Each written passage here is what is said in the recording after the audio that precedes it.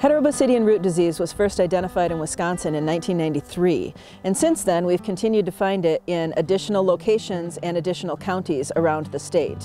HRD is a fungal disease that rots the roots of conifers. In particular, our pines and our spruces are most heavily impacted in the state of Wisconsin.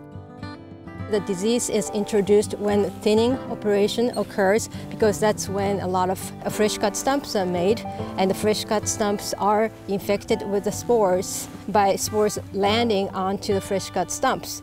There really is no treatment for it. Prevention is the only option there is to do anything with HRD. Once you have HRD, you will always have HRD in the stand.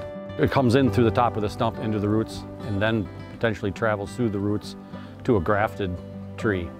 If the uh, fungus does get into a freshly cut stump that's not been treated, it could in time kill the live trees in the plantation and start a, an infestation area that will in time spread.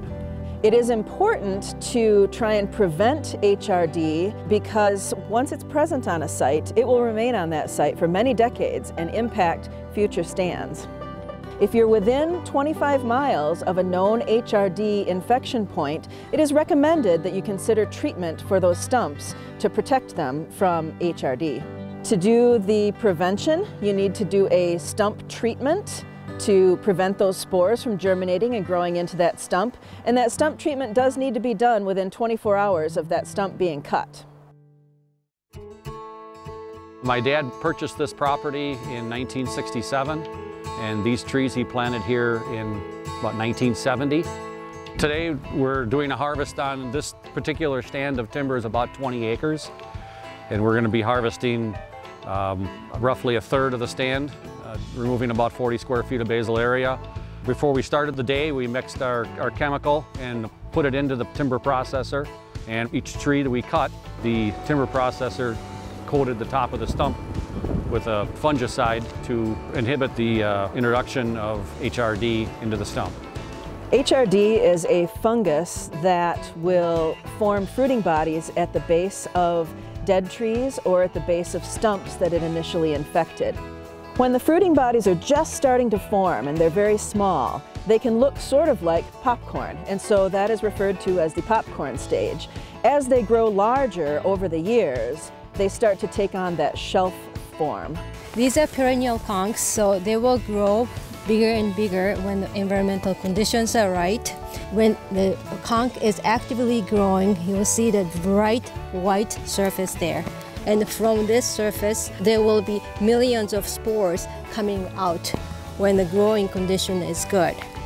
So as landowners are walking through their property, if they happen to see an area where there are dead trees, perhaps surrounded by some trees that are looking very thin or they're looking off color or they're declining, that would be a spot where the landowner would want to look a little closer and see if they can spot those fruiting bodies of HRD at the base of any of those dead trees or at the base of any stumps in that area.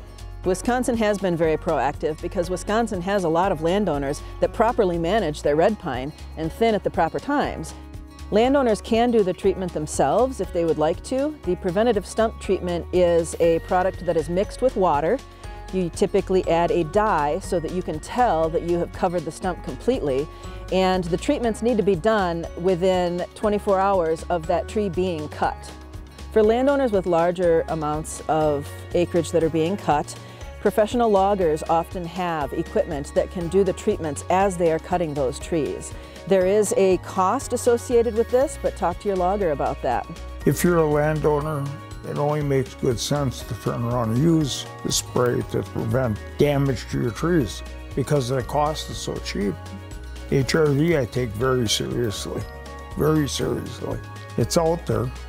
So we're hoping for a cure in the future, but in the meantime, prevention is the best practice. For more information, you should contact your local forester.